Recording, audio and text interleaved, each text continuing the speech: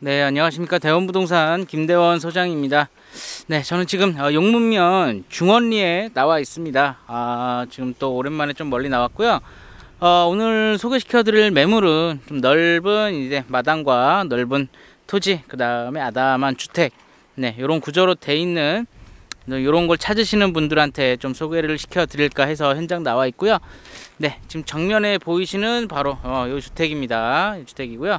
우선은 요 비슷한 컨셉의 주택들 하나, 둘, 셋, 한네 채가 이렇게 나란히 예, 요 앞에 도로를 같이 좀 쓰고 있는 상황이고요. 음, 우선은 어, 매물 현황표 보면서 간단하게 정리 좀 해드리도록 하겠습니다. 네, 경기도 양평군 용문면 중원리에 소재하고 있고요. 토지는 총 두 필지로 이루어, 져 있습니다. 아, 대지로 되어 있는 부분이 약 151.8평, 그 다음에 전으로 쓰고 있는 부분이 네, 104.1평, 그래서 약 255.9평 정도 되고요. 예, 물론 이제 도로 지분은 별도로 있습니다. 그리고 건물 연면적 어, 24평, 예, 그리고 준공연도는 2013년 2월에 준공된 이제 7년이 조금 넘은 그런 건물이고요. 주구조 일반 목구조. 예, 그 다음에 용도지역은 보존관리지역. 예, 향은 남향으로 방 두개 욕실 두개. 그 다음에 가스보일러 마을 지하수 정화조 이렇게 설치가 되어 있습니다. 2차선 도로에서는 약 500m 거리로 굉장히 가깝고요. 용문 면소재지 차량 17분 그 다음에 조연초등학교와 유치원 차량 7분 예 그리고 경기중앙선 용문역에 차량 18분 거리에 있습니다. 네 이렇게 보시면 이렇게 나란히 한 네 채 이렇게 있고요 뭐 요 도로 같이 이제 지분으로 어, 돼 있는 것 같아요. 네, 그럼 본 매물 일단 메인 요 소규모 단지로 진입하는 도로 저 앞에 보시면 메인 도로 있고요. 도로는 굉장히 깨, 깔끔하게 포장이 잘 돼 있습니다.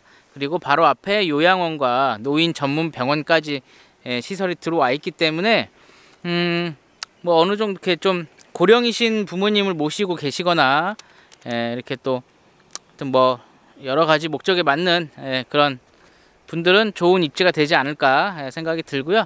이렇게 단지로 들어오시면 바로 첫 번째 집입니다. 첫 번째 집이고요. 지금 일단 외관 먼저 둘러볼 텐데요. 아, 지금 요 앞에 지금 농사를 이제 비닐까지 이렇게 돼 있는 부분 있잖아요. 어, 농사, 텃밭이라고 하기엔 너무 넓고요. 농사를 이제 준비 중에 있는 요 부분이 전으로 다 돼 있고요. 예, 저 중간에 야외 수도가도 있고 여기는 또 이렇게 나무를 좀 심어 놓으셨고요. 네, 그리고 경계는 저 녹색 철제 펜스라고 보시면 예, 될 것 같습니다. 이렇게 펜스 주변으로 해서 또 수목들 굉장히 많이 식재가 되어 있는 모습이고요. 음, 네, 그리고 집 같은 경우 집 터는 약한 어, 1m 한 20 정도 예, 또 발파석으로 이렇게 석축 작업 하셔가지고 집터를 좀 올리셨고요. 단차를 두셨고요. 아, 이 부분 이 잡석이 깔아져 있는 이 부분하고 집터가 대지로 되어 있습니다. 예, 대지로 되어 있고요. 네, 이 잡석이 이제 깔린 부분에 주차하시고 예, 주차를 하나도 한 세 대는 여유 있게 하실 수 있을 것 같아요.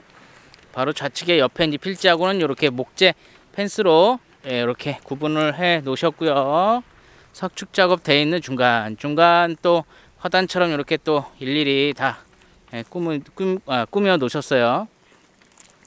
아우 그냥 굉장히 힘드시겠네요. 농사 지금 주말에 와서 하시려면 힘드실 텐데 거의 뭐 주말에만 왔다 갔다 하시는데도 꽤 넓게 농사를 짓고 계시네요. 자, 뭐 어쨌든 자 이제 이렇게 보시면 어, 밭으로 쓰고 있는 부분하고 집터로 올라가는 요 계단 네, 자연석 발파석으로 석축 작업 되는 요 계단 이렇게 올라가시면 되시고요. 현관문 있는 쪽으로 해서 또 넓게 목재 데크 이렇게 시공차 돼 있고요.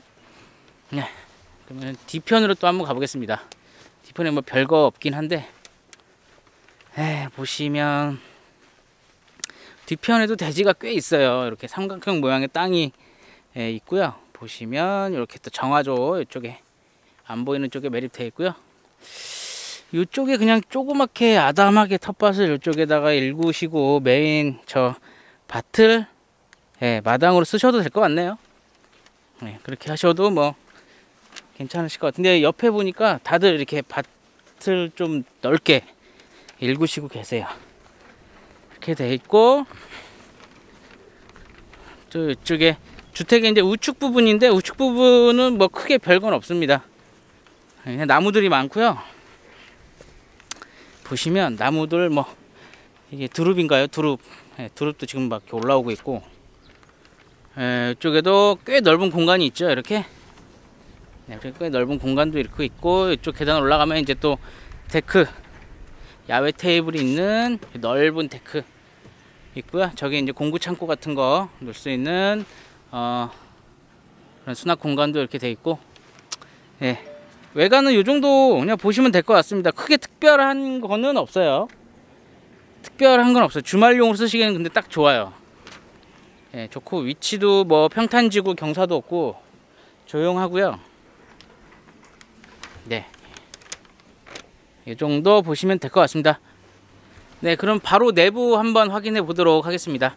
아, 현관 들어오시면 좌측에 신발장 이렇게 붙박이장으로 잘 돼 있고요. 바닥은 타일로 마감돼 있고요.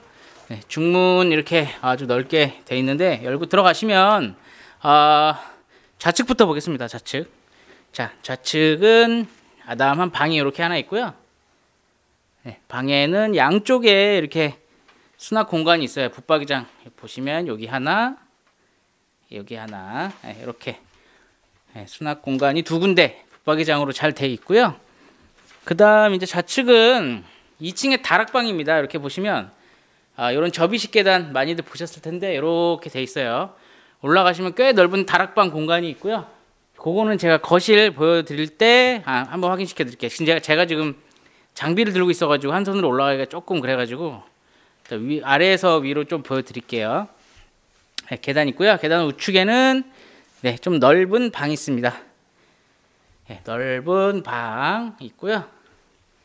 방 좌측에 붙박이장 시공돼 있고 붙박이장 우측에 또 욕실 하나 있고요. 네, 샤워 부스까지 갖춘 네, 욕실, 안방 욕실이었고요. 자, 안방에서 나오셔서 바로 좌측에 이제 1층 거실에 욕실이 있습니다. 이렇게 역시 샤워 부스 네, 돼 있고요. 이렇게 돼 있고 그다음에 이제 현관 들어오셔서 바로 우측이 이제 이렇게 메인 거실 공간이고요. 지금 커튼은 닫혀져 있어서 일조량은 확인이 안 되는데 뭐 남향이라서 뭐 말할 건 없을 것 같아요. 일조량은 엄청 좋을 것 같고요. 아까 보셨던 이렇게 보여드리면 되겠네요. 계단 올라가시면 이렇게 굉장히 넓은 다락방 공간이 있다라는 부분, 이 부분 참고해 주시면 될 것 같습니다. 그리고 네, 거실과 연결된 네, 주방, 네, 화이트 색상의 하이그로시인가요? 뭐 이걸로 되어 있는 무난한 주방 되어 있고요. 어, 3구 가스레인지 예, 빌트인 되어 있는 모습이고 그리고 주방 우측에 보시면 세탁실 겸 다용도실로 쓸 수 있는 또 공간 이렇게 있고요. 음, 주택의 이제 뒷부분으로 나갈 수 있는 출입구도 있고 보일러도 있고요.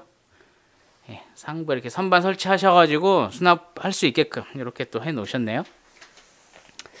아, 본 주택 같은 경우는 단층 주택이라고 보면 될 것 같고요. 방 두 개, 욕실 두 개, 거실, 주방, 세탁실 겸 다용도실.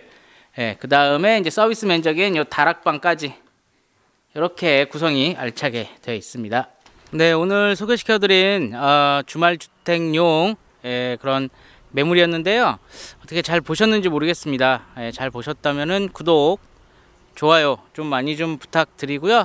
좀 넓은 토지에 예, 아담한 주택을 원하셨던 분들은 어, 이번 기회에 좀 문의 주셨으면 좋겠고요. 위치도 굉장히 좋고 네, 그런 매물이었던 것 같습니다. 네, 그럼 저는 또 다음 매물 촬영 때 어, 찾아뵙도록 하고요. 네, 감사합니다.